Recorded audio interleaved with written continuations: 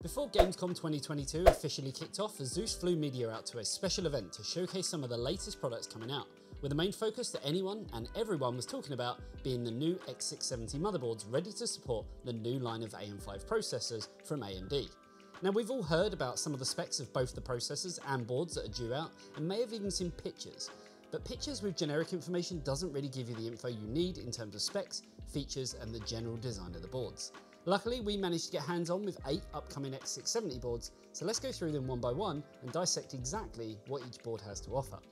Starting off with the newest board from the Tough gaming range. In terms of style, it's a pretty standard affair for the Tough series of motherboards, featuring a very industrial design that consists of many sharp angles with lots of grey parts to the design that stand to accent the rest of the board's brushed black heatsinks with some yellow highlights scattered around the board to add some tough gaming flair. In terms of features, we are looking at the new AM5 socket, which has support for the upcoming Ryzen 7000 series of CPUs, and brings along support for DDR5 in the board's four DIMM slots that supports up to a maximum of 128GB of memory. The board itself features four M.2 slots, one of which is PCI 3.0, two of them are 4.0, and the final one is that all important 5.0, which will bring incredibly fast speeds with it once we see drives that support this generation of storage finally reaching the market. When we look at connectivity, we see there is a whole host of ports on this board, with a single USB 3.2 Gen 2x2 port, a total of 5 USB 3.2 Gen 2 ports, 7 USB 3.2 Gen 1 ports, and 6 USB 2.0 ports. When we talk about networking, this board comes complete with support for Wi-Fi 6E, as well as a 2.5G Realtek LAN port for wired Ethernet.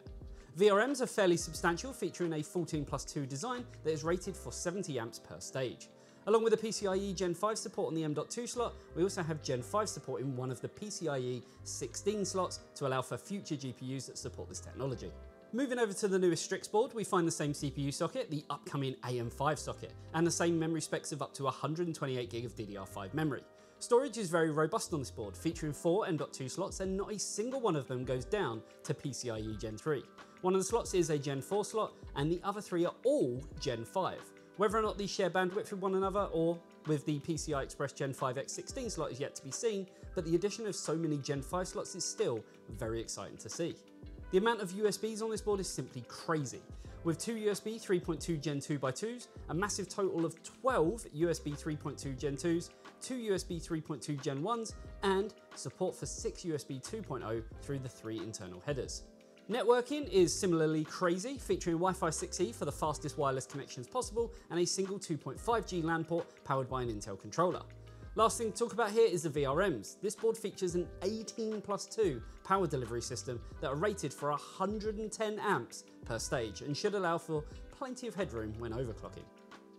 The Prime is seemingly trying to cement itself as more of a professional board, even though we see very similar specs to the other boards. We see a design that is geared less towards gamers and more towards creators, but still maintaining some of that gamer style, making this a potential option for a multi-purpose system, or even just a white theme build, as this was the only whiteboard that we saw in the lineup. As well as the new AM5 socket and X670 chipset, we do have support for DDR5 going up to 128GB across the four DIMM slots. Storage wise, we see a good collection of M.2 slots featuring a single PCIe 5.0 slot and a single 3.0 slot, as well as two 4.0 slots. The support for PCIe Gen 5 also spreads across to the X16 slots, allowing for future GPUs to take advantage of the higher speed and bandwidth. The board features enough USB for you to easily connect all of your devices, consisting of one USB 3.2 Gen 2x2, five USB 3.2 Gen 2, a healthy 7 USB 3.2 Gen 1, and support for 6 USB 2.0 through the three internal headers. Internet access is very unrestricted as it does feature, again, Wi-Fi 6E and 2.5G LAN on a Realtek controller, allowing you to have all the connectivity that you may need. Finally is power delivery. The board uses a 14 plus 2 power solution that's rated at 70 amps per stage. The ever popular Hero board makes a return once again and it brings a whole host of new features along with it. To little surprise, the Hero has enough features to make it a very tempting option for a gamer looking to spec out a system on the new platform. The board supports up to 128GB of DDR5 memory to take advantage of higher efficiency and higher speed DIMMs that we've seen make a rise in popularity since their launch. Storage options are plentiful with a total of 5 M.2 slots. There is more than enough capacity for all of the NVMe drives you could ever want. Two of these five slots are PCIe Gen 4, whilst the other three are all Gen 5, making the board more than ready for the next generation of storage technology. And of course, the support for PCIe Gen 5 doesn't end there, also spread into the X16 slots, where you will be able to get the most out of those future GPUs. USB is plentiful on this board with two USB 4 ports, two USB 3.2 Gen 2x2 ports, a grand total of 9 USB 3.2 Gen 2 ports, 4 USB 3.2 Gen 1 ports, and 3 USB 2.0 internal headers that can support up to another 6 ports. Internet connectivity leaves nothing to be desired with Wi-Fi 6E for wireless connectivity and a 2.5G LAN port controlled by an Intel controller. The power solution is substantial enough even when doing some overclocking and does allow for some more complicated overclock, should we say, if you so desired. Features an 18 plus 2 power solution and is rated at 110 amps per stage. Next up is the ProArt. These boards are designed to be the perfect board for creators, with features geared kind of more towards creation instead of gaming. Much like all the other boards we've looked at so far, there is support for DDR5 with a maximum compatibility of 128 gig. And in this type of board, you may actually want to use all of that capacity. Storage options aren't the most complete compared to other boards we've seen with two PCIe Gen 5 M.2 slots and two Gen 4 slots, but local storage is likely to be less of a concern for users of this board since the chances of using network storage is actually quite high. The options you get with networking easily allows for network storage and fast connectivity to download and upload content. With Wi-Fi 6E you get blazing fast wireless connectivity, but for reliability and stability you're more than likely going to be using a wired connection. And for wired we have the most options we've seen in any of these boards so far, with a 2.5G port as well as a 10GBE port powered by a Marvell controller. With this board, you also get a complete suite of all the USBs you could frankly ever need, with two USB 4 ports, two USB 3.2 Gen 2 x 2 ports, seven USB 3.2 Gen 2 ports, two USB 3.2 Gen 1s, and seven USB 2.0 ports. The board will also support PCI Express Gen 5 GPUs once we eventually see them launch, and this will be good for creators who can take advantage of the greater speed and bandwidth for heavier workloads. For the power solution on this board, Asus went fairly modest when compared to other aspects of this board, with a 16 plus 2 phase solution rated at 70 amps per stage. And this should be more than enough for most people, even if you are doing some light overclocking. An unexpected addition to the showcase was the return of the Gene, which has been out of the lineup for quite a few generations now, not being seen since I think it was Z390 if I remember correctly. And this time around we're seeing the first AMD Gene board, as all of the previous boards were for the Intel platform. Standing out from the crowd by sporting a micro ATX form factor, this board will allow for smaller form factor builds while still maintaining some of the benefits of using a full-size board.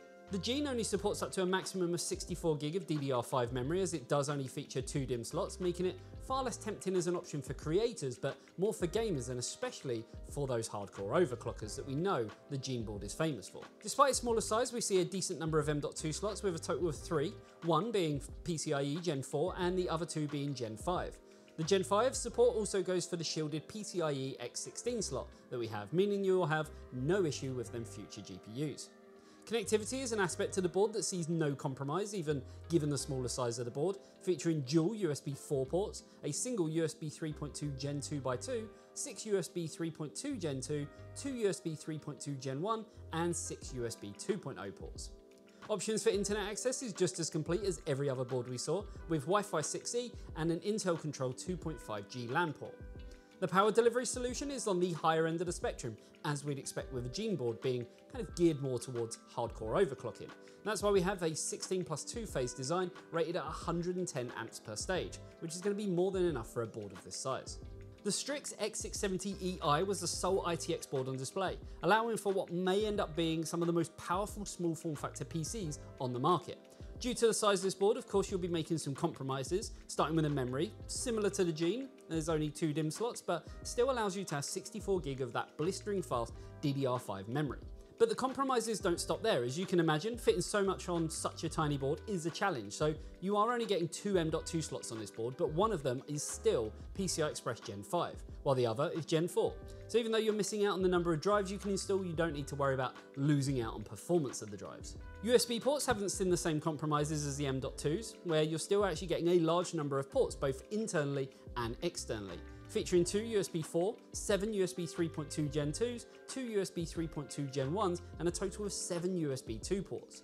I mean, I've got to admit, this is a lot for a board of that size. It also comes with an external unit that sits on your desk with motherboard controls that's bundled with the board, and the ROG FPS2 card, which is an expansion card that allows for more ports to be squeezed into the tiny form factor. Internet connectivity wise is just as complete as other boards, featuring the same Wi-Fi 6E and Intel controlled 2.5G port that we've seen on some of the bigger boards. Finishing up our look at these boards is the big one, the Crosshair X670 Extreme. It's an E-ATX monster of a board that has more than you could need no matter what you're going to do with it. But of course, due to this extended layout, you should always be careful when specing out a system, as case compatibility will likely be an issue. With support for 128GB of DDR5, you will be getting that blazing fast performance from your memory without sacrificing on capacity.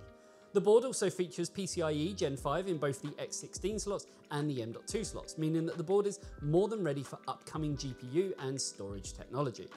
As well as the high speeds you can expect from PCIe Gen 5, you can expect some fantastic speeds from your internet connection, with Wi-Fi 6E for the wireless and an Intel 2.5G LAN port, as well as a super fast 10GBE LAN port, again powered by Marvell.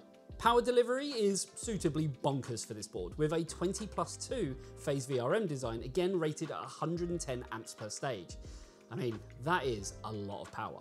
While X670 was the big buzz, that didn't stop Asus from showcasing a ton of other goodies, including Asus clothing, Evangelion themed clothing and peripherals, monitors for every budget and need, as well as products from every other major lineup, with one of the coolest being the new, oh so tiny 850 watt SFXL based PSU. Asus are really pushing hard on the complete ecosystem, allowing the user to easily build an enthusiast DIY PC and then to customize it with ease. We have a lot more Gamescom 2022 coverage soon, so make sure you're subscribed for more.